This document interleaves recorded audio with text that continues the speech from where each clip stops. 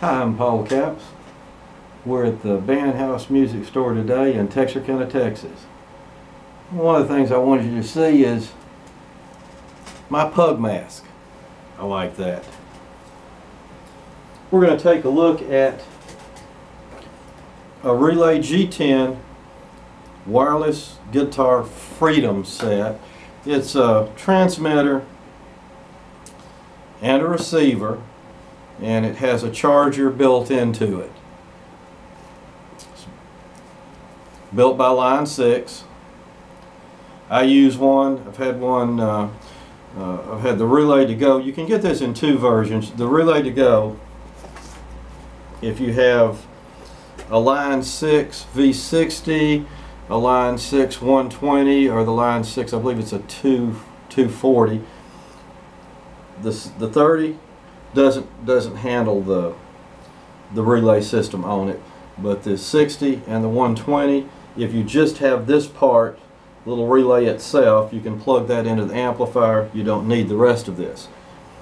Even though I own two of the line 6 amplifiers the receiver is extremely handy to have in the sense that you can plug it directly into your PA play through the PA you can use it to go into an interface uh, into your computer system and you can play it through all the, the amplifiers that you'd want to play into different brands and different things. So I actually plan on uh, purchasing one with the, the receiver even though I already own the one with the transmitter. And we'll get back in just a second here at show and show you how these work.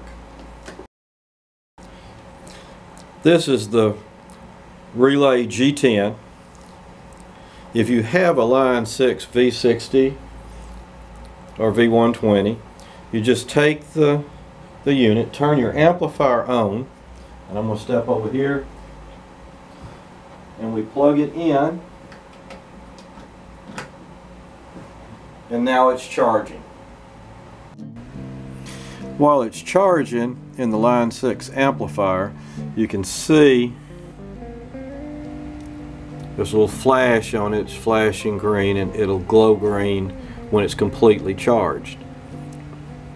We're going to go over here now. I don't know if it'll pick it up all that well, but I'm going to try to get as close to it as I can.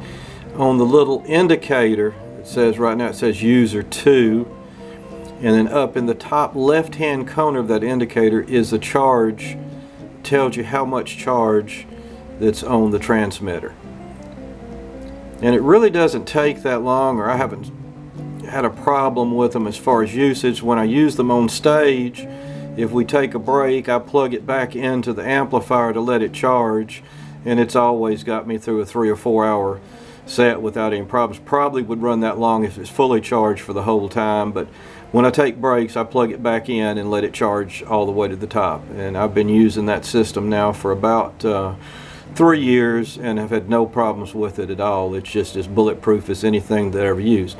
The only thing that uh, this is not good for if you have an active electronic like an acoustic guitar that has a preamp in it, it will not work with an active electronic uh, preamp driven guitar. It's for a passive system.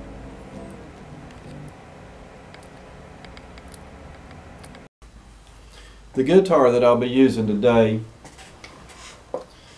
on the Relay G10 to show you how it works is my Yamaha it's a RS320. Let's take a look at this. is actually a two, 2015 model.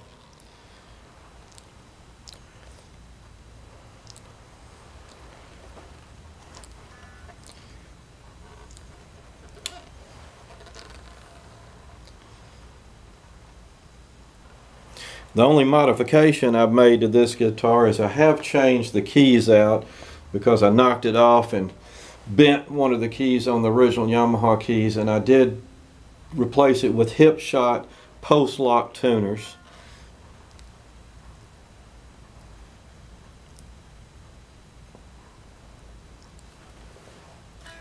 And that's what that guitar looks like. This is the Relay G10 transmitter. And we'll take it and we just plug it into the guitar.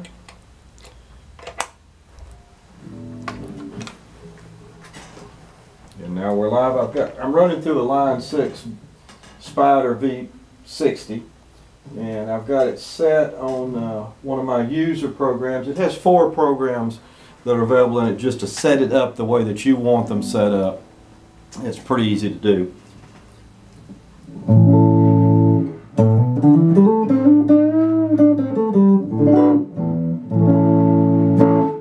Set up with just a little distortion in it.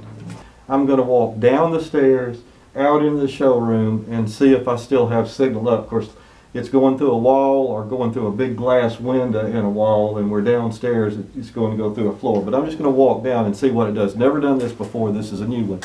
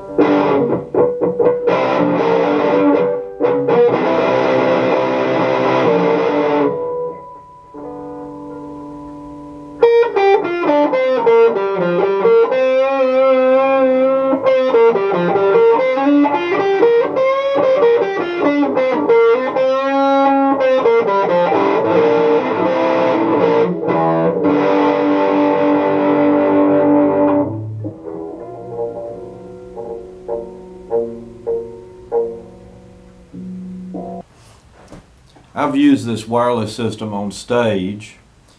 Uh, walking from the stage through the crowd, about 60, 75 feet through the crowd, come back up on stage with it, had no problems at all with the transmitter. If you try to transmit through a wall with it, that's a, a little bit of a different story because I've walked backstage with it uh, behind where there's, there's actually a wall up uh, it doesn't doesn't penetrate the walls very well at all. But if you've got line of sight to your receiver, and in this case the receiver is the amplifier itself because that's built in. If you're using a, PA system or plug it in another another amplifier, you can move this receiver to where you think the line of sight will be the best it. You set it up on something uh, or move it out. But as long as you've got line of sight and you can actually see this transmitter, I've had no problems with it whatsoever. I've used it uh, on two of uh, the concerts that uh, we do every year for Randy Sams, which is a, a homeless shelter in our area. Haven't done this with one this year because of the COVID, still trying to figure out something to do for them. But it's a beautiful system. It's a beautiful system. Uh, like I said, I bought it. I bought it three years ago and I've been using it ever since. It does help if you turn the volume control on the guitar on.